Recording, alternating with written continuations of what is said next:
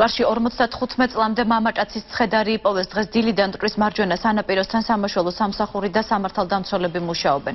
სამაშველო სამსახურის თანამშრომლების ვარაუდით მამაკაცი დიდი ხნის გარდაცვლილი უნდა იყოს. ადრილზე კრიმინალური სამსახურის თანამშრომლებიც მივიდნენ გამოძიება უკვე დაწყებულია უბედური შემთხვევის ვადებს ექსპერტიზა დაადრეს. რომის იდენტიფიცირება ჯერჯერობით არ მომხდარა. შემოვიდა შეტყობინება, წყალზე მოქონდა გვამი, გავედი დანიშნულების ადგილზე და ჩვენს მიერ იქნა გადმოყვანილი კატერით მეტეხის ეკლესიის მოპირდაპირე მხარეზე პრიშალზე. დიდი ხნის გარდაცვლილია, იმიტომ რომ სახე პრაქტიკულად გახჭებულია, რა და ზუსტი ასაცი ვერ გქონდა.